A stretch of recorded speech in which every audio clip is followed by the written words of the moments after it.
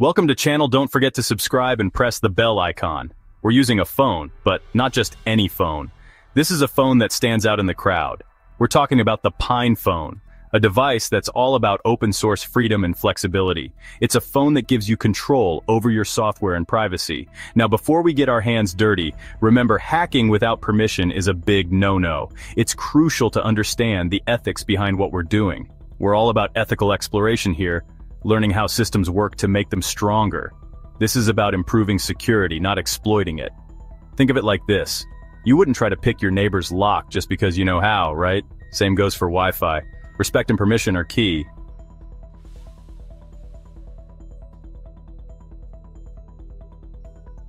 Just remember, with great power comes great responsibility.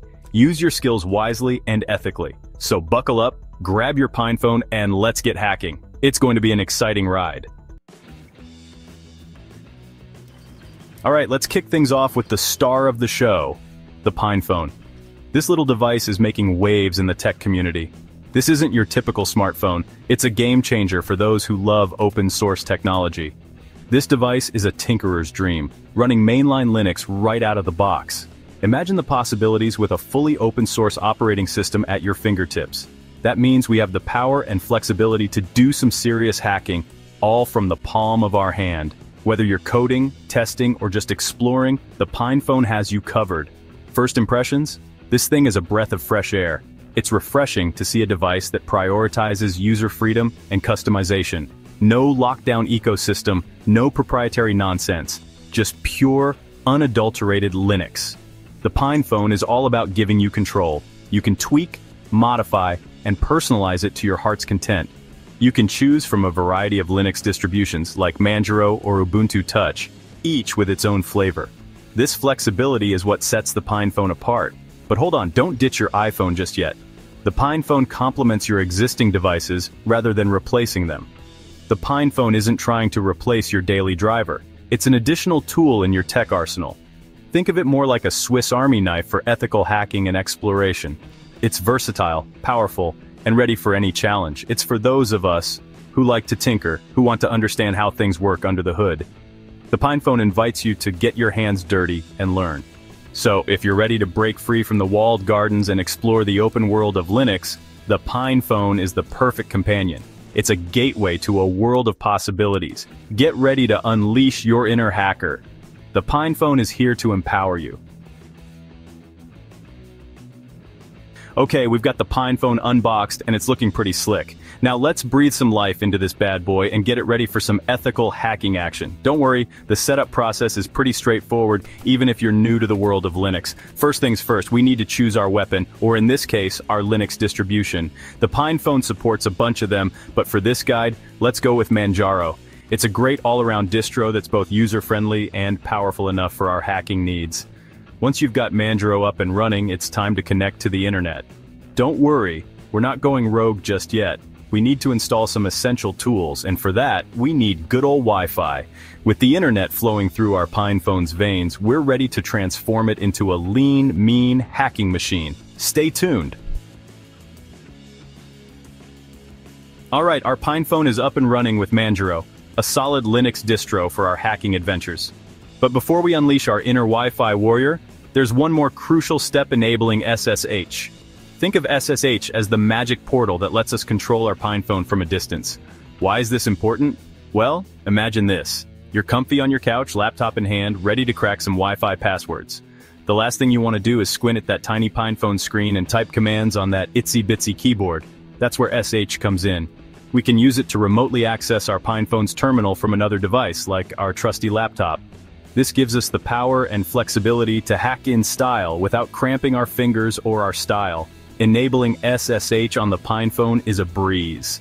Just fire up the terminal and follow a few simple commands. Trust me, once you've experienced the joy of remote hacking via SSH, you'll never go back. Section 5. Wi-Fi and Friends. Installing your hacking arsenal. Our PinePhone is primed and ready, SSH is standing by. Now it's time to equip ourselves with the tools of the trade.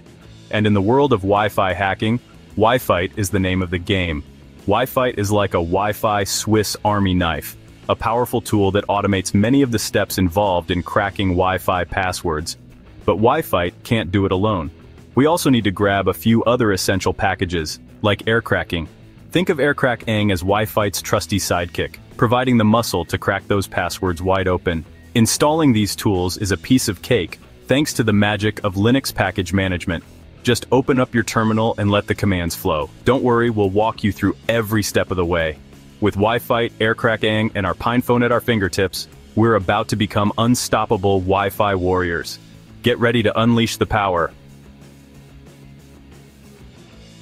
Section 6, Dictionaries, the keys to the Wi-Fi kingdom. We've got our Pine phone locked and loaded with Wi-Fi and AirCrackAng, ready to crack some Wi-Fi passwords. But before we start bombarding networks with random guesses, we need a secret weapon dictionaries. Think of dictionaries as our master keys to the Wi-Fi kingdom. They contain massive lists of words, phrases, and common passwords that people use. Wi-Fi uses these dictionaries to try different combinations and crack those passwords. The bigger and better our dictionary, the higher our chances of success. We can find tons of dictionaries online or even create our own based on specific targets. It's like being a digital Sherlock Holmes using our deduction skills to crack the code. Remember, ethical hacking is all about understanding how systems work, and that includes understanding how people create passwords.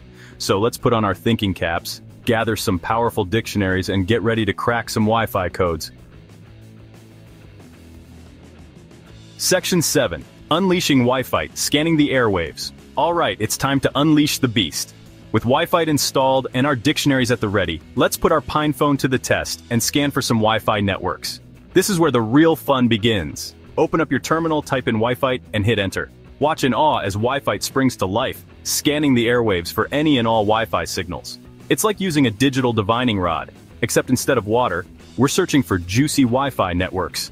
Wi-Fi will present you with a list of all the networks it detects, along with some juicy details like signal strength, encryption type, and even the MAC address of the router. It's like having X-ray vision for Wi-Fi, giving you a peek behind the digital curtain. Now remember, we're ethical hackers here, so choose your targets wisely.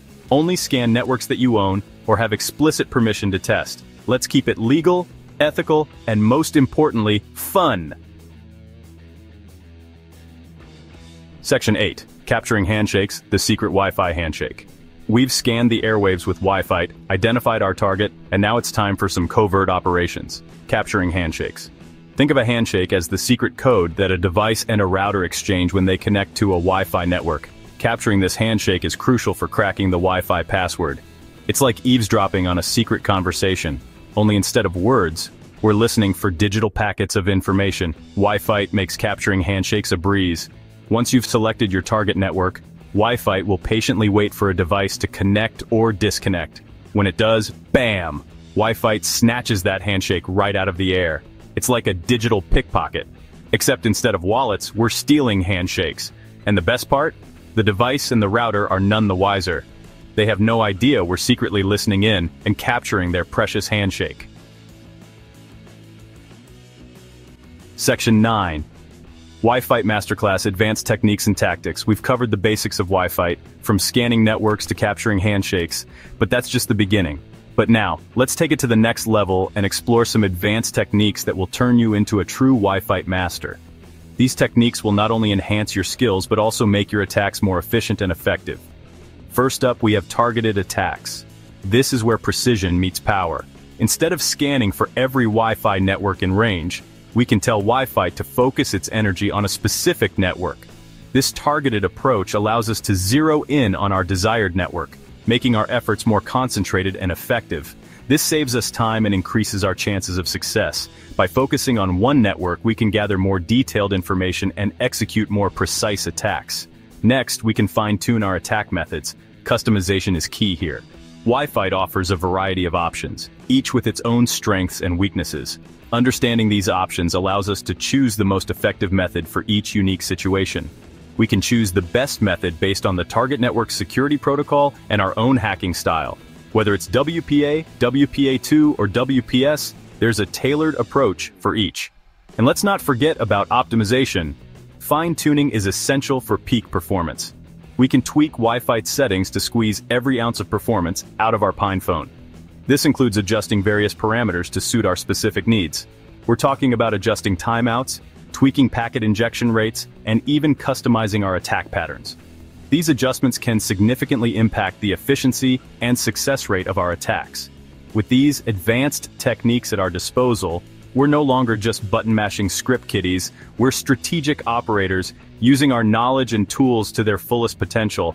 We've become strategic Wi-Fi warriors, capable of adapting to any situation and cracking even the toughest of Wi-Fi passwords. Our skills have evolved, and so has our approach. Remember, knowledge is power, and in the world of ethical hacking, the more you know, the more powerful you become. Continuous learning is the key to staying ahead. So keep experimenting, keep learning, and most importantly, keep hacking ethically. The journey of mastering Wi-Fi is ongoing, and every new technique you learn brings you closer to becoming an expert.